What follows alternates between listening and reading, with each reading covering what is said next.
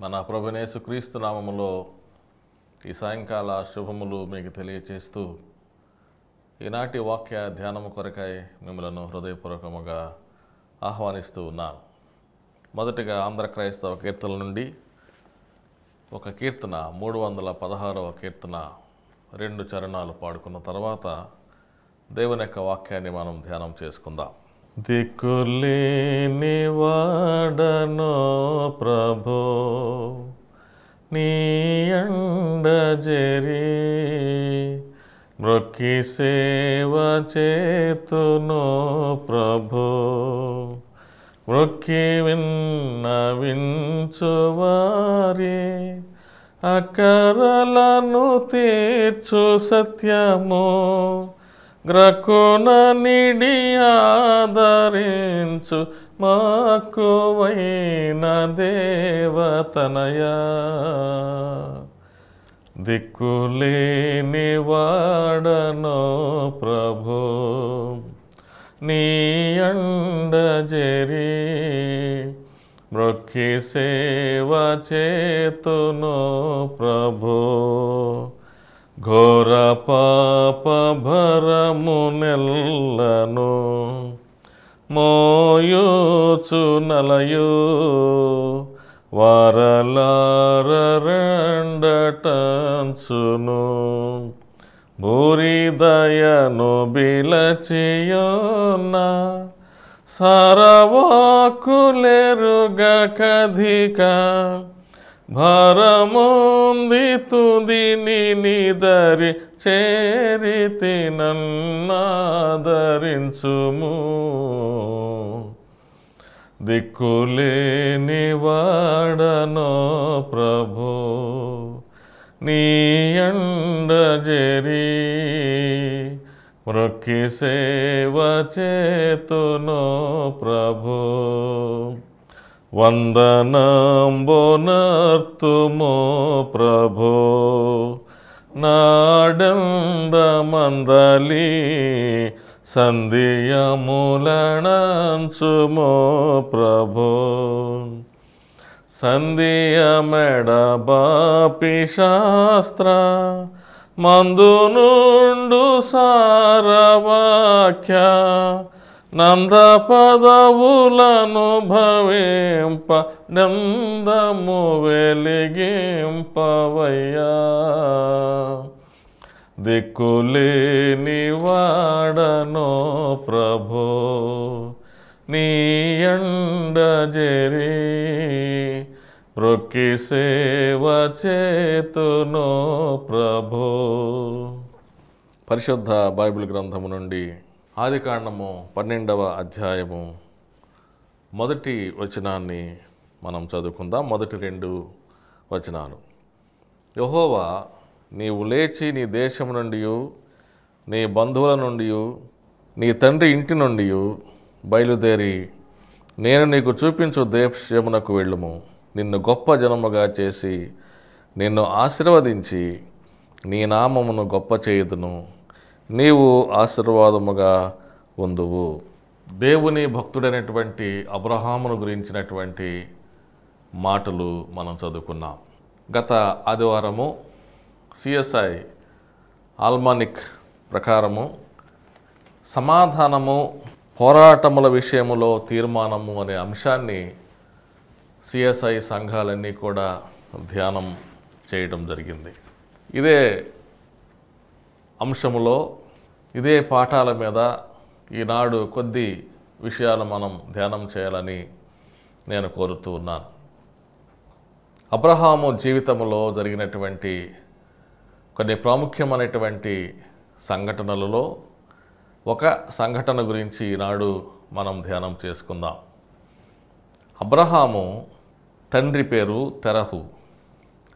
తెరహు అనేటటువంటి ఆ తండ్రి ఆయన ఒక వ్యాపారం చేసేటటువంటి వాడు. అది ఏ వ్యాపారం అంటే విగ్రహాలు పోతపోసి వాటిని అందంగా తీర్చిదిద్ది వ్యాపారం చేసేవాడు. అనేక మంది వచ్చి ఆ విగ్రహాలని చాలా డబ్బులిచ్చి కొని తీసుకుని వెళ్ళేవారు. తీసుకుని వెళ్ళి ఏం చేసేవారంటే వాటిని దేవుళ్ళగా దేవతలుగా ఆరాధించేవారు.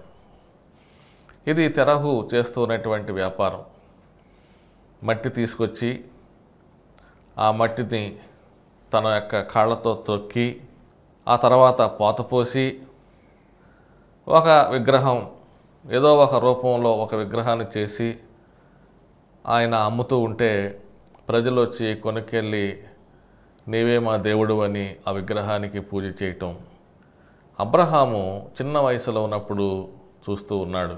అలా చూస్తూ ఉన్న సమయంలో అబ్రహాముకి ఆధ్యాత్మికమైనటువంటి ఒక హృదయములో ఒక మంట అనేది ఏర్పడింది.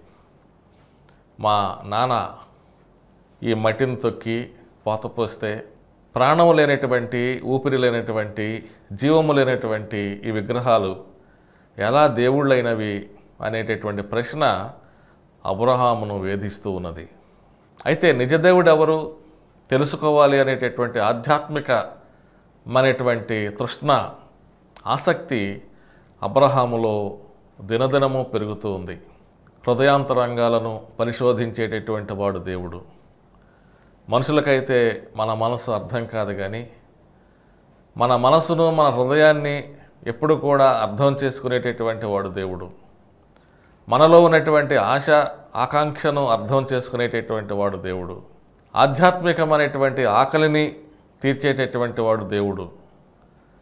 చిన్న వయసులో కలిగినటువంటి అబ్రహాము తండ్రి చేసేటటువంటి ఆ పనులు చూస్తూ అనేక మంది వచ్చి ఆ విగ్రహాలని కొనుక్కొని వెళుతూ ఉంటే ఆయన ఎంతగానో తనలో ఉన్నటువంటి ప్రశ్నలు ఎక్కువైపోతూ ఉన్నాయి.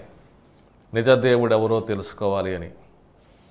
అబ్రహాం యొక్క ఆసక్తిని ఎరిగినటువంటి దేవుడు ఒకనొక నాడు అబ్రహామును పిలుచుకున్నాడు. నీవు నీ దేశము నుండి నీ బంధువుల నుండి నీవు నివాసం చేస్తున్నటువంటి పరిస్థితుల నుండి నీవు వచ్చేసేయి. నేను నీకు చూపించే దేశాన్ని నువ్వు వెళ్ళాలి అని అబ్రహామును దేవుడు పిలిచినప్పుడు ఏ ఆసక్తితో ఉన్నాడో అబ్రహాము దేవుని జవాబు అబ్రాహాముకు రాగా వెంటనే అబ్రహాం బయలుదేరి దేవుడు చెప్పినట్లు ఆయన బయటకు వచ్చేశాడు తెరహు గారు నివాసం చేసినటువంటి ఊరు పేరు ఊరు. ఆ ప్రదేశము నుండి ఆ పరిస్థితుల నుండి అక్కడ ఉన్నటువంటి విశ్వాసము నుండి అక్కడ ఉన్నటువంటి పద్ధతుల నుండి అబ్రహాం బయటకు వచ్చేసాడు బయటకు వచ్చి దేవుడు చూపిస్తూ ఉన్నటువంటి ప్రదేశాలు ఆయన వెళుతూ ఉన్నాడు. దేవుడు ఎక్కడికి వెళ్ళమంటే అక్కడికి వెళుతూ తన యొక్క ప్రయాణాన్ని కొనసాగిస్తూ ఉన్నాడు. ఆ ప్రయాణంలో పదమూడవ అధ్యాయంలో దేవుడు చూపించినటువంటి విధంగా అబ్రహాము తన తమ్ముని కుమారుడైనటువంటి లోతును కూడా వెంటబెట్టుకొని ఆయన ప్రయాణం చేస్తూ ఉన్నాడు. ఒకనొక ప్రాంతమునకు వెళ్ళినప్పుడు పదమూడవ అధ్యాయంలో వారు అబ్రహాము లోతు కలిసి నివాసము చేసే అంత అవకాశము లేకపోయింది. ఎందుకు అని అంటే అబ్రహాము బహుధనవంతుడు. వేల కొలది పశువులు గొర్రెలు మేకలు విస్తారమైనటువంటి ఆస్తి సంపద మనుషులు పనివారు అబ్రహాముకు కలిగి ఉన్నారు. అబ్రహాము అతని భార్య శారా. అప్పటికి అబ్రహాముకి పిల్లలు లేరు. ఈ ఆస్తి అంతటిని కూడా ఆయన తీసుకొని వెళుతూ ఉన్నప్పుడు అతనితో పాటు తన తమ్ముని కుమారుడైనటువంటి లోతును కూడా తీసుకుని వెళుతూ ఉన్నప్పుడు అబ్రహాము అంత ధనవంతుడు కాకపోయినా లోతు కూడా తనకు కలిగినటువంటి పనివారులని ఆస్తిని వెంట పెట్టుకుని వెళుతూ ఉన్నాడు. వీరి వెంట అనేక మంది పనివాళ్ళు ఉండడం వల్ల అబ్రహాము లోతు వారి ఆస్తులతో పాటు పనివాళ్ళతో పాటు కలిసి నివాసము చేసే అంత స్థలము అక్కడ వారికి లేదు. అప్పుడు ఏమైందంటే అబ్రహాము పశువుల కాపర్లకి లోతు పశువుల కాపర్లకి కలహము వచ్చింది. అది పదమూడవ అధ్యాయము ఆది కాండం ఏడవ వచనములో ఆరవ ఏడు వచనాల్లో మనం చూస్తాం. అబ్రహాము పశువుల కాపర్లకు లోతు పశువుల కాపర్లకు కలహం వచ్చింది. వారు కలహించుకున్నారు చాలామంది పని వాళ్ళు ఉంటారు కాబట్టి వాళ్ళు చేసేటటువంటి పని చోట వారు కలహాన్ని పెట్టుకున్నారు. ఈ విషయము అబ్రహాము దృష్టికి వచ్చింది. అబ్రహాము దృష్టికి వచ్చినప్పుడు అబ్రహాము ఒక మాట అన్నాడు. అదేమిటంటే ఎనిమిదవ వచ్చిన పదమూడవ అధ్యాయంలో మనం బంధువులము గనక నాకు నీకును నా పశువుల కాపర్లకును నీ పశువుల కాపర్లకును కలహం ఉండకూడదు అన్నాడు. ఇది చాలా మంచి మనసు కలిగినటువంటి అబ్రహాము పలికినటువంటి మాట. అబ్రహాము దేవుని యందు భయభక్తులు కలిగినటువంటి వాడు విశ్వాసము కలిగినటువంటి వాడు. దేవుణ్ణే నమ్ముకొని తన జీవితాన్ని ప్రయాణమును కొనసాగిస్తున్నటువంటి వాడు. అలాంటి అబ్రహాము అన్నటువంటి మాట ఏంటంటే మనం బంధువులము గనక నీకు నాకు మన పశువుల కాపర్ల మధ్య కలహం ఉండకూడదు. ఈ మాట చాలా ప్రాముఖ్యమైనటువంటి మాట. నో స్ట్రైఫ్ కలహం ఉండకూడదు.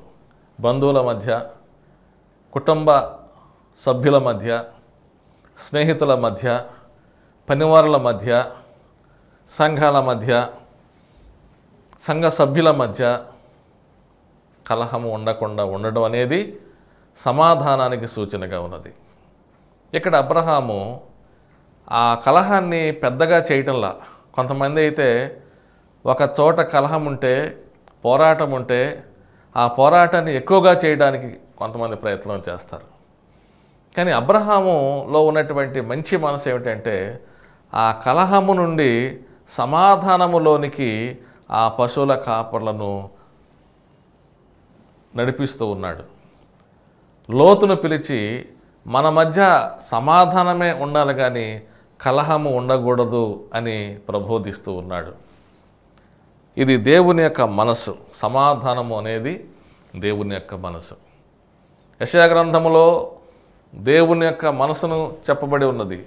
ఆయన సమాధానకర్తగు అధిపతి. సమాధానం ఎక్కడి నుండి వస్తుందంటే దేవుడి నుండే వస్తుంది. దేవుడే సమాధానకర్తకు అధిపతి. కాబట్టి దేవుని నమ్మినటువంటి వారు సమాధానాన్ని స్థాపించాలి. మరి మతీసు వార్త ఐదవ అధ్యాయము తొమ్మిదవ వచనంలో సమాధానపరచువారు ధన్యులు వారు దేవుని కుమారులు అనబడుదురు అని ప్రభు అయినటువంటి యేసుక్రీస్తు కొండ మీద చేసిన ప్రసంగంలో చెప్పాడు. సమాధానపరచువారు ధన్యులు. ఎక్కడైతే అసమాధానం ఉన్నదో ఎక్కడైతే అశాంతి ఉన్నదో ఎక్కడైతే పోరాటం ఉన్నదో అక్కడ సమాధానాన్ని స్థాపించడానికి దేవుడు మనలను ఏర్పాటు చేసుకున్నాడు. దేవుని కుమారులంగా కుమార్తెలంగా మనము సమాధానాన్ని స్థాపించాలి కానీ అసమాధానాన్ని సృష్టించకూడదు.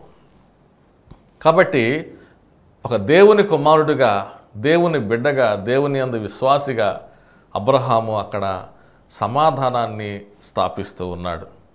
సామెతల గ్రంథం ఇరవై అధ్యాయము మూడవ వచనములో ఈ మాటలు మనం చదువుకుంటాం. కలహమునకు దూరముగా నుండుట నరులకు ఘనత. కలహమునకు దూరముగా ఉండుట నరులకు ఘనత. మూర్ఖుడైన ప్రతివాడును పోరునే కోరును. మూర్ఖుడైన ప్రతివాడును పోరునే కోరును. కలహమునకు దూరముగా ఉండుట నరులకు ఘనత. ఇది సామెతల గ్రంథములో మనం చదువుకున్నాం. కాబట్టి మనము సమాధానాన్ని స్థాపించాలి. దేవుని బిడ్డలంగా మనము సమాధానాన్ని స్థాపించినప్పుడు దేవుడు కుమారులుగా మనము ఈ లోకములో జీవించగలం. ఫ్రాన్సిస్ ఆఫ్ ఎసిసి అనేటటువంటి గొప్ప చరిత్రలో ఉన్నటువంటి దేవుని కుమారుడు దేవుని సేవకుడు ఆయన. ఆయన ఒక ప్రార్థన చేస్తూ ఉన్నాడు. ఆ ప్రార్థనలో అనేక విషయాలు చేస్తూ ఎక్కడైతే అసమాధానం ఉన్నదో అక్కడ సమాధానాన్ని శాంతిని స్థాపించే సాధనంగా నన్ను చేయి ప్రభువా అని ఆయన ప్రార్థన చేస్తూ ఉన్నాడు. కాబట్టి ఈనాడు మనము కూడా దేవుని ప్రార్థన చేయాలి. దేవా నన్ను సమాధాన సాధనంగా శాంతి సాధనంగా నన్ను ఏర్పాటు చేయి ప్రభువా అని మనం ప్రార్థన చేసుకోవాలి. అబ్రహాము దేవుని కుమారుడుగా ఆయన శాంతిని సమాధానాన్ని స్థాపిస్తూ ఉన్నాడు. ఎందుకు ఈ పశువుల కాపర్లకి కలహం వచ్చింది అని అంటే ఖచ్చితమైనటువంటి కారణం మనకైతే తెలియదు కానీ సమృద్ధి ఉన్నది అక్కడ అక్కడ ఏ విధమైనటువంటి కొరత లేదు. అయినను వీరు అలాంటి కలహము అనేటటువంటి స్థితిలో వారు ఉన్నారు కొంతమంది జీవితాలు ఎప్పుడు మరి గొడవలతోనూ పోట్లాటలతోనూ పోరాటాలతోనూ నడుస్తూ ఉంటుంది. వారి యొక్క మనసంతా కూడా అశాంతి అసమాధానముతో నడుస్తూ ఉంటుంది. ఎందుకనంటే సాతానుడు అక్కడ ఉన్నాడు. ఎక్కడైతే పని సమయము ఉండి పని లేకుండా ఖాళీగా ఉంటామో అక్కడికి సాతానుడు ప్రవేశిస్తాడు. Empty mind is the place of Satan అనే ఒక మాట ఉంది. మన మనసు ఖాళీగా ఉన్నప్పుడు అనేకమైనటువంటి మంచి ఆలోచనల కంటే సాతానుడు పెట్టేటటువంటి చెడు ఆలోచనలకి ఎక్కువ అవకాశం ఉంటుంది. అందుకనే మరి కీర్తనాకారుడు కీర్తన గ్రంథంలో మొదటి కీర్తనలు ఏం రాస్తాడంటే దుష్టుల ఆలోచన చొప్పున నడవక పాపుల మార్గమున నిలువక అపహాసకులు కూర్చుండు చోటన కూర్చుండక యహోవా ధర్మశాస్త్రమునందు ధ్యానించచ్చు దివారాత్రము దాన్ని ధ్యానించువాడు ధన్యుడు అని కీర్తనాకారుడు రాస్తూ ఉన్నాడు.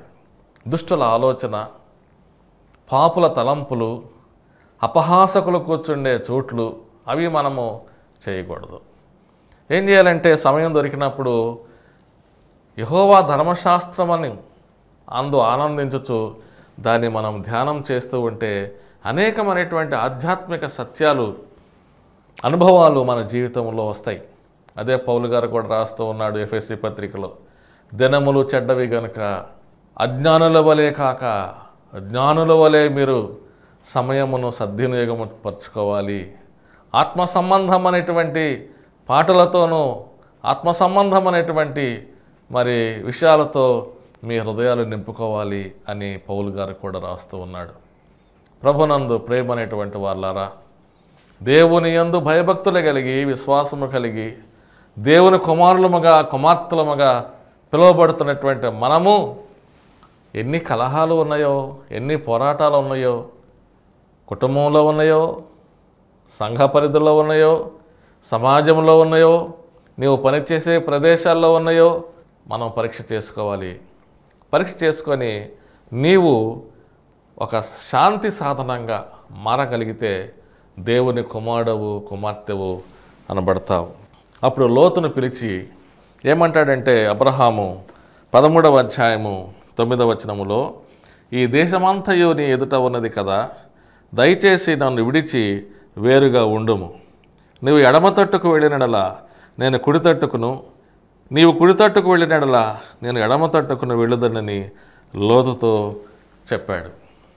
అబ్రహాము పెద్ద మనస్సు మనం చూస్తూ ఉన్నాం. త్యాగపూరితం అనేటువంటి మనసును మనం చూస్తూ ఉన్నాం. ఎందుకంటే అబ్రహాం పెద్దవాడు లోతు చిన్నవాడు. చిన్నవాడిని పిలిచి ఫస్ట్ ప్రయారిటీ మొదటి అవకాశం లోతుకిచ్చాడు. ఈ దేశమంతా మందే మన ఎదుట ఉన్నది. కాబట్టి మనం విడిపోదాం. లెటస్ సపరేట్ కలిసి నివాసం ఉంట ఉన్నప్పుడు ఇలాంటి పోరాటాలు కలహాలు రావడానికి సహజం. కానీ కొంచెం వెడంగా వెళితే ప్రేమలు ఎక్కువగా ఉంటాయి అనే విషయాన్ని తెలియచేశాడు.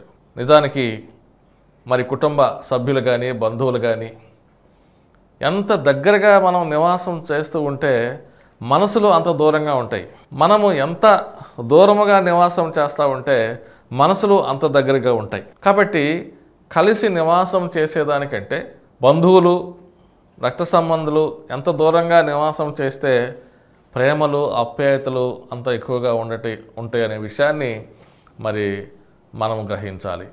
ఇక్కడ అబ్రహాము లోతు జీవితాల్లో అబ్రహాము చెప్పేటటువంటి సూచన ఏమిటంటే మనము చాలా దేశం ప్రాంతం ఉంది కాబట్టి మనం సపరేట్గా నివాసం చేద్దాం. అప్పుడు కలహాలకి పోరాటాలకి అవకాశం ఉండదు. మన మధ్య ప్రేమను అనురాగాన్ని మనం పెంపొందించుకోవచ్చు అని చెప్తూ ఉన్నాడు. చెప్పి ఆయన ఏమంటున్నాడంటే నీవు ఎడమ తట్టుకు వెళ్తే నేను కుడి తట్టుకు వెళ్తా. నేను కుడి తట్టు నీవు కుడి తట్టుకు వెళ్తే నేను ఎడమ తట్టుకు వెళ్తా. నీవు మొదటగా ఏ ప్రాంతం కావాలో కోరుకో. ఇది చాలా పెద్ద మనసు. చిన్నవానికి అవకాశం ఇవ్వడం అనేది చాలా పెద్ద మనసు. అప్పుడు లోతు మనసు చాలా స్వార్థపూరితం అనేటువంటి వాడు లోతు. అబ్రహాము స్వార్థము లేనివాడు లోతు స్వార్థముతో నిండినటువంటి వాడు.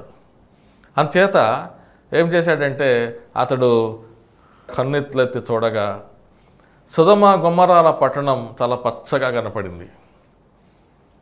ఆ సుధమ్మ గుమ్మరాలు పైకి చాలా పచ్చగా ఫలభరితమైనటువంటి ప్రాంతంగా కనపడింది. అప్పుడు లోతు ఏం చేశాడంటే నేను ఆ ప్రదేశానికి వెళ్తానని చెప్పి ఆ ప్రదేశానికి వెళ్ళిపోయాడు. అతడు విడిచిపెట్టినటువంటి ఖనాను దేశానికి ఖనాను ప్రాంతానికి అబ్రహాం వెళ్ళాడు. అయితే లోతు వెళ్ళినటువంటి ఆ ప్రదేశం ప్రజలు దుష్టులు దుర్మార్గులు పాపులు అని తర్వాత కాలంలో మనం తెలుసుకుంటాం. పైకి పచ్చగా ఉండొచ్చు పైకి అందముగా ఉండొచ్చు కానీ లోన జీవితం ఆ ప్రజలు పాపులుగా మనము చూస్తాం. తరగతి మనం చదువుకునేటటువంటి పుస్తకాల్లో ఒక పద్యాన్ని మనం చదువుకున్నాం.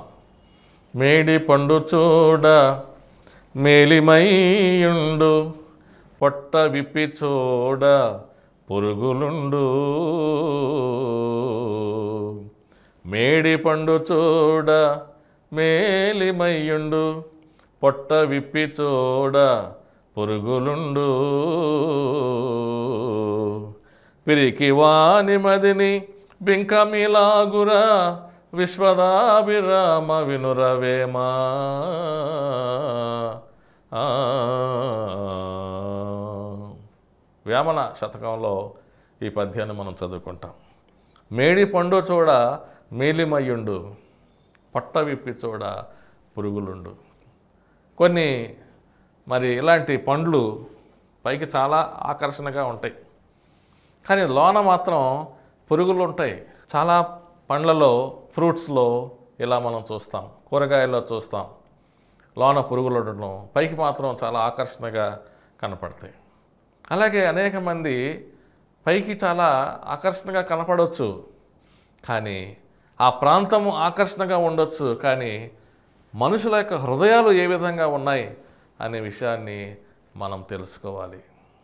వివాహాల సమయంలో కూడా అనేక మంది మనస్సులను ఎరుగక వారి యొక్క మనస్సులను అర్థం చేసుకోలేక పైన అందచందాలు మాత్రమే చూచి మోసపోతూ ఉంటారు. ఈ మధ్య కాలంలో ఎక్కువగా వరకట్నాలు చూస్తూ ఉన్నారు. వాటిని చూచి ఆ కుటుంబ వ్యవస్థ యొక్క విధానాన్ని కూడా అర్థం చేసుకోలేక పైన ఉండేటటువంటి వ్యవహారాలనే వారు చూసుకొని వివాహాలు చేసుకున్నప్పుడు అనేక వివాహాలు కుటుంబాలు విచ్ఛిన్నమవుతూ ఉన్నాయి. ఎందుకంటే మనసులు మంచిగా ఉండాలి. మనసులు మంచిగా ఉన్నప్పుడు కుటుంబాలు ఆశీర్వాదకరంగా ఉంటాయనే విషయాన్ని తెలియచేస్తూ ఉన్నాను. అబ్రహాం యొక్క మనసు త్యాగపూరితం అనేటువంటి మనసు స్వార్థము లేనటువంటి మనసు మొదటి అవకాశం లోతుకిస్తే ఆ లోతు సుధమా గుమ్మర పట్టణాలని ఎన్నుకున్నాడు పచ్చగా కనపడటం వల్ల. తర్వాత కాలంలో ఆ సుధమ్మ గుమ్మరాల పట్టణాలు ఏమైనాయి అంటే మరి అగ్ని గంధకాల చేత అవి కాల్చబడి ఉన్నాయి. ఎందుకంటే ఆ దుష్టులు అయినటువంటి పాపులు. దేవుని యొక్క మాట వినకుండా వారు దుష్ట జీవితం జీవిస్తున్నారు కాబట్టి దేవుడు అగ్ని గంధకాలను కురిపించాడు. అబ్రహాం అయితే ఎండిపోయినటువంటి కనాను ప్రాంతానికి వెళ్ళాడు. ఆయన వెళ్ళినప్పుడు అంతా డ్రై కానీ అబ్రహాము అడుగు పెట్టిన తర్వాత ఆ భూమి పాలు తేనెలు ప్రవహించేటటువంటి భూమిగా మారిపోయింది. కొంతమంది ఎక్కడ అడుగు వేస్తే అక్కడ ఎండిపోద్ది కొంతమంది ఎక్కడ అడుగు వేస్తే అక్కడ ఆ ప్రాంతం వర్ధిల్లుద్ది. అబ్రహాము ఎప్పుడైతే ఆ కణాను ప్రాంతానికి వెళ్ళాడో ఆ కణాను ప్రాంతం పాలు తేనెలు ప్రవహించేటటువంటి ప్రాంతం అయిపోయింది. అబ్రహామును బట్టి దేవుడు ఆ భూమిని ఆ ప్రాంతాన్ని ఆస్వాదించాడు. మనము కూడా మనం ఎక్కడ అడుగు పెడితే అక్కడ ఫలించాలి. ఎలా ఫలిస్తాం? అబ్రహాంకి ఒక అలవాటు ఉన్నది. అదేమిటంటే అబ్రహాం ఎక్కడ అడుగు పెడితే అక్కడ మొట్టమొదట అక్కడ బలిపీఠం కట్టి దేవునికి ప్రార్థన చేసేవాడు. దేవునికి ప్రార్థన చేసిన తర్వాత ఏదైనా సరే పని చేసేవాడు. మొట్టమొదటగా ఈ ప్రయాణములో దేవుడు చెప్పేటటువంటి ప్రయాణములో ఆయన అనేక చోట్లకు ప్రయాణం చేశాడు. అనేక చోట్ల ఆయన నివాసము చేశాడు. ప్రతి చోట కూడా ఆయన ఒక బలిపీఠం కట్టి అక్కడ ప్రార్థన చేసి ఆ తర్వాత తన యొక్క జీవన విధానాన్ని ప్రారంభించాడు. మన జీవితాల్లో కూడా మనం ఎక్కడ ఉన్నప్పటికీ కూడా ప్రార్థన అనేది చాలా ప్రాముఖ్యం. కుటుంబ ప్రార్థన వ్యక్తిగతమైన ప్రార్థన సంఘ ప్రార్థన సహవాస ప్రార్థన ఇవన్నీ కూడా ప్రార్థన ద్వారా మన జీవితాలు మన కుటుంబాలు మన సంఘాలు ఫలభరితం అనేటువంటి విధంగా ఉంటాయి. ప్రార్థన లేకపోతే ఎండిపోయినటువంటి జీవితాలే. ప్రార్థన ఉంటే ఫలభరితమైనటువంటి జీవితాలు. కాబట్టి అబ్రహాములో మనం తెలుసుకోవాల్సింది ఆయన సమాధానాన్ని స్థాపించాడు. రెండవది త్యాగాన్ని చూపించాడు. స్వార్థము లేకుండా మరి త్యాగాన్ని చూపించాడు. మూడవది ఆయన ప్రార్థనా పరుడు. అబ్రహాము తన ప్రార్థన శక్తిని బట్టి ఎక్కడికి వెళ్ళినా సరే ఆయన వర్ధిల్లాడు. పాలు తేనెలు ప్రవహించే దేశ ప్ర ప్రదేశాలుగా మారిపోయినాయి. ఎండిపోయిన ప్రదేశాలు మరి ఫలించే ప్రదేశాలుగా మారడానికి గల కారణం ఏంటంటే ప్రార్థన. ఇవాళ మన కుటుంబాల్లో మన సంఘాల్లో అనేక ప్రదేశాల్లో ప్రార్థనలు లేక అవి ఎండిపోతూ ఉన్నాయి. కానీ ఎక్కడైతే ప్రార్థన ఉంటుందో అక్కడ ఫలిస్తుంది. ఆ ఫలించేటటువంటి జీవితాలు మనము కలిగి ఉండాలని దేవుడు కోరుతున్నాడు. మన యొక్క గృహాల్లో కూడా మన కుటుంబాల్లో కూడా ఎప్పుడు ప్రార్థన అనేటటువంటి సహవాసము ఉండాలి. సంఘముగను ప్రార్థించగా కూడిన చోటు కంపించును. సంఘముగను ప్రార్థించగా కూడిన చోటు కంపించును. పరిశుద్ధాత్ముడు దిగవచ్చును ఆత్మవరములతో నింపును. పరిశుద్ధాత్ముడు దిగవచ్చును ఆత్మవరములతో నింపును. సంఘముగా ప్రార్థన చేసినప్పుడు పరిశుద్ధాత్మ శక్తి దిగి వస్తుంది ఆత్మవరాలతో మనల్ని నింపుతాడు. ఆది సంఘం యొక్క అనుభవాన్ని మనము కూడా మరి నేర్చుకొని ప్రార్థన ప్రార్థన ప్రార్థన అనేటటువంటి ఆ జీవిత విధానములో అబ్రహాము ఏ విధంగా వర్ధిల్లాడో మనము కూడా వర్ధిల్లడానికి పరిశుద్ధాత్మ దేవుడు మనకు సహాయం చేయనుగాక. ఆమెన్.